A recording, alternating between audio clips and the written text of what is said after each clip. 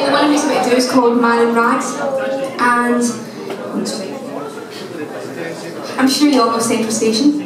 It's quite famous here in Glasgow. Um, but um, I seen there's a, a man begging, felt like sorry for him, so I thought I'd write a song about him. And do you know what? Know what? If you turned up well, I mean, that, I mean, just think about that. That would be the epitome of all the moments. That would be it. Um, so this is called Man in Rags.